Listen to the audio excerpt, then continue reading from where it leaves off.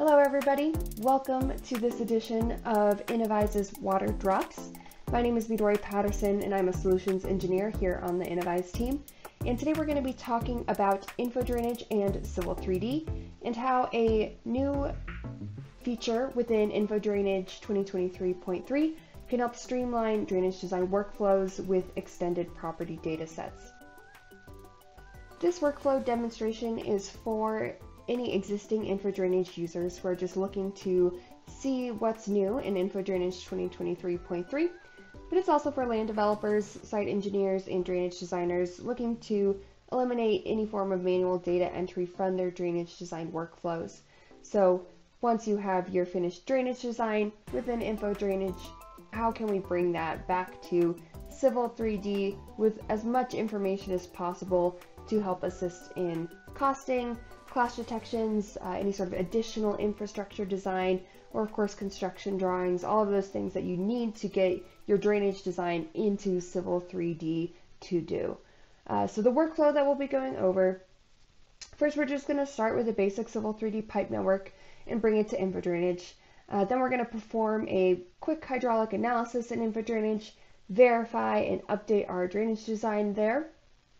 And then we're going to bring that info drainage network back to that Civil 3D pipe network, update it with our info drainage information, and then take a look at what kind of data is brought over and view those extended property data sets. Uh, and then we'll send it back again to info drainage just to demonstrate the flexibility of info drainage and how it can support multiple round trips. So let's take a look at an example pipe network within Civil 3D. As you can see, I have this pipe network in here representing just a pretty simple storm drain network in a residential area. There's some catch basins, we have some manholes, we have a pipe network as well. So here we have a 24 inch pipe that's kind of just running through the middle of our residential area here. This also has been drawn in profile view so we can see that 24 inch pipe at a 1% slope in here. And so kind of a common workflow with Civil 3D and Info Drainage would be initially laying out your drainage design in Civil 3D, making use of the tools that are here to help you build that, and then sending it to Info Drainage where you can actually do your detailed hydraulic analysis to optimize those sizes, design retention ponds, and that sort of exercise that you would use a hydraulic model for. So with the ultimate version of InfoDrainage, there is this option to export to InfoDrainage directly within Civil 3D. So here we'll step through this export wizard, just going to give a name for our InfoDrainage file. We'll be prompted to ask what we want to do with the surface. I'll load the surface in later or just choose not to export it with this uh, in this step here. And then there's a parts mapping process where it'll read the Civil 3D parts family and parts that are within our current pipe network. And then we'll just assign what pipe sizes these are going to be. And this can be saved to a configuration file so that you don't have to do it manually uh, in further exports. But we'll just do that and then we will move to info drainage and take a look at what was exported. So now we'll open that info drainage file that we just created. And we can see that those pipes and manholes have been sent to info drainage with their sizes and connectivity being maintained. So this is that 24 inch pipe that we were looking at earlier. For the sake of this demonstration, I'm going to change the exit loss coefficient of this particular pipe. And I'm going to make a couple other just kind of arbitrary changes in here. I'm going to change this manhole from a rectangular manhole to a circular manhole. For whatever reason, we've decided this doesn't need to be a catch basin anymore, and this is actually just going to be an access manhole. Um, we'll apply those changes, and then we'll go ahead and validate the model. We're seeing some issues here. One thing to note is that bringing uh, when you're bringing in an info drainage model back to Civil 3D, the program will not allow you to bring it in if it is not a valid model. Basically just doesn't want to make sure, we just want to make sure that you're not bringing in something that's not going to work or something that hasn't isn't correct hydraulically. One of the validation errors we were seeing is that there is no flow defined. So you can enter in flow into the system in a few ways. For this example, we're going to go ahead and add a catchment area and apply rainfall to this catchment area so that it can enter our pipe network. I'll just draw in kind of a dummy catchment area here. Again, for the sake of this demonstration, I'm just going to reconnect this inflow to this main pipe branch that we're going to be taking a look at. And so let's validate it. Let's see what else we need to do. This inlet that had been created when the catchment area was drawn, we don't need that anymore. So I'll accept that change. Going back here, I have no rainfall criteria selected. So let's go ahead and take a look at our rainfall manager. We have a couple design storm type distributions loaded within here already. I'm going to load in a rainfall file that I have saved. So you can save these files, use them across different projects. And now let's see. So I have that rainfall loaded, still haven't just selected it within our analysis criteria. So I can apply that rainfall now. And now we should be good to go. So I'm just going to run this really quickly. You can see this pipe popped up red. This means that this is surcharging. So let's just go ahead and upsize this pipe. I'm not going to go through a full drainage analysis here. There's a lot of different ways that you can go about sizing these pipes, including our network design wizard, which size that, sizes that pipe for us. But I'm just going to go ahead and upsize it to a 48 inch pipe for the sake of timeliness in this demonstration. So I've saved this file. We're now ready to bring it back to Civil 3D. So now we're back within Civil 3D. We want to update our pipe network with the changes that we just made within InfoDrainage.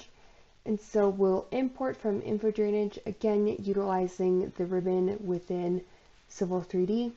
Select our InfoDrainage file. We're going to keep the existing Civil 3D surface that we have in our Civil 3D file. And again, here's that parts mapping process. We're just reassigning the different pieces that are within InfoDrainage to the corresponding Civil 3D parts family. So I do have a configuration file saved already, so this will automatically populate everything for us.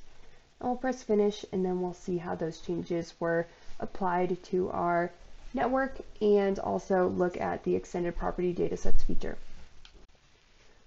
So now let's take a look at our updated pipe network. If we zoom into this once 24 inch pipe, we can see that it's been updated to our 48 inch pipe as we specified within InfoDrainage. Also within this pipe, we can take a look at the extended data sets. So this is what's new within 2023.3. These extended data sets have been carried over from InfoDrainage to Civil 3D. So now you have all this information. We have our entry loss, exit loss, uh, Manning's value, so that these sorts of things can be used, whether that be for just labeling, for just adding further design detail to your construction drawings, uh, or for things like costing, Within this manhole that we updated, you can also see it's no longer our catch basin, it's just a manhole. Similarly, the extended data has been updated here so we can see that access is required. This is now a sealed manhole. And because this pipe network has been updated and not replaced, you'll see these changes reflected within any references that are already in your Civil 3D drawing. So here we can see that our labels have been updated. This is indeed a 48 inch pipe now just so we don't have to manually re-enter anything, manually correct any broken references. These are still going to be any references that were set up with these networks previously, like our reference surface. That's all maintained so that we don't have to spend any time kind of, again, manually doing those sorts of changes. Similarly, our catchment area that we designated within InfoDrainage has been brought over as a Civil 3D catchment type and again, in that extended data, you can see the different hydrologic parameters that we had established within InfoDrainage. Those have been brought over as well as these other more standard hydrologic parameters such as runoff coefficient and time of concentration. Now let's say this drainage design needs to change. For example, let's say the proposed design now calls for a more commercial land use type up here so this catchment area, the runoff coefficient is going to need to change to something a little more impervious. Um, let's also say that this manhole, actually let's look at this manhole. Let's say that we've decided that this actually is going to need access. Additionally, this catch basin can't be on this side of the street anymore. We're going to have to do some regrading and move it over to this side of the street. And for whatever reason, we decide that this pipe, this is going to need to change as well. No longer is it going to be a 24 inch pipe, but we're going to actually swap it out for a 36 inch pipe. So any sort of site design, any sort of design project in general is going to have some sort of unforeseen changes, some sort of design iterations, and so we need this to be flexible so that we can send it back to info drainage and again just make sure that everything is going to work out hydraulically based on any sort of changes that might have happened since we last brought it in from info drainage. So we'll just step through this process again uh, I don't have a configuration file saved for this export. We need to assign that new 36 inch pipe size, assign our manhole sizes, and finish, and then we'll look at the info drainage file once more. So now we've opened that info drainage file once again, and we can see in the catchment area here our runoff coefficient has been updated to that more impervious value. We can see that the structure has been moved over within this property data set. We can see that access is required in this manhole as we designated within Civil 3D and so on and so forth. We have our 36 inch pipe over here. So all this just to say that of course within any sort of site development project, things are changing, different pieces are moving, and you need to be able to move between these two products seamlessly. And so the interoperability between InfoDrainage and Civil 3D allows you to do so with minimal data loss and minimal manual data entry. And I'll also point out that the rainfall data file that we had loaded is maintained, so we're not starting from a blank info drainage drawing, and we can still make use of anything that we have set up before. And so that concludes this demonstration of a round trip between InfoDrainage to Civil 3D and back to InfoDrainage and how we can eliminate manual data entry from the drainage design process with the new feature of InfoDrainage 2023.3 that allows us to access and update these extended property data sets.